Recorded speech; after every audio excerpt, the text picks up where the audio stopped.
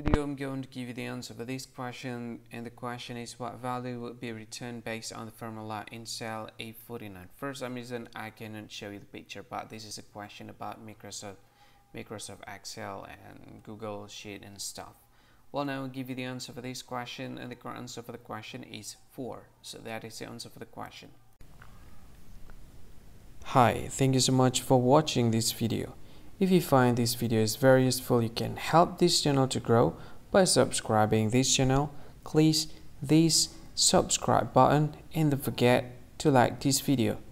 And if you find this video is not really good or you don't really like this video or you kind of feel that it's a little bit offensive or something like that, you can click this one, dislike button. You can do that anyway.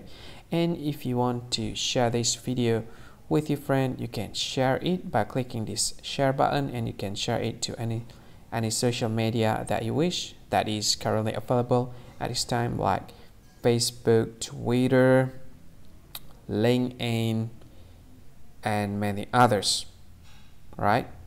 And if you want to add this video to your playlist you can click this one. You can watch this video later and you can find more options by clicking these three dots and yeah don't forget to subscribe. I think that's all of it. Thank you so much for watching this video and see you again in another video.